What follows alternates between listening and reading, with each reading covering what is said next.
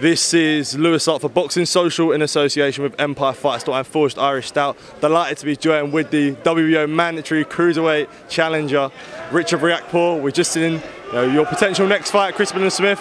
Stop Mateusz Masternak. Um, when you see that, what's your initial thoughts?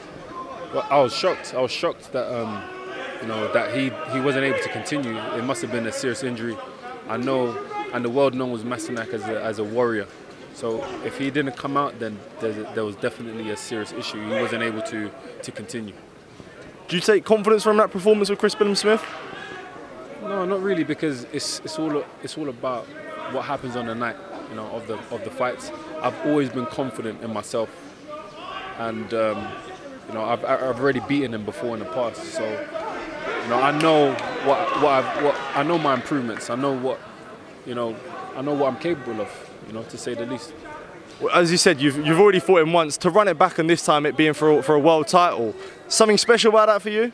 Yeah, absolutely. Domestic clash uh, involved in, in a very historical fight, world title fight. You know, we saw it against um, with um, David Haye and Enzo Maccarinelli for more titles, but it's, it's on the same magnitude. You know, people want to see this fight. And in fight week, um, you did have a few choice words for each other. I mean, he, you up an Instagram story saying that you can't wait to sort of shut up a counterfeit John Cena. Um, sort of more utter, utter those words when it gets to fight night and you and you throw down. Look, it's a bit of banter, you know, it's a bit of banter. At the end of the day, we respect each other. I, I know he respects me as a fighter, I respect him. We've shared a ring before. And um, yeah, we, we, we got a job to do. But you know, with us, I think there's a thin line between love and hate. And once it gets to the hate part, you're just going to see bad blood. He's got something that I want, and I'm going to take it. As I said, is there bad blood, do you feel like, between you and Chris? Could be. It could be.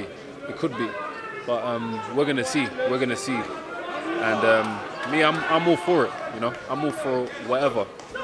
Absolutely. And for yourself, on a personal level, everything you've been through, um, you know, your life up to this point, to fight for a world title, to get that world honours, you know, everyone's dream. How does that? How much do you feel like I'd feel for you? Yeah, it feels good. It feels good. You know, I have a, I have a big dream though. I have a big dream. I have other things that I want to do, and I feel like this is a part of the, of the journey. So it's just a matter of time before this is this manifest this manifestation station um, occurs, and then bang, we're going to move on to the next stage.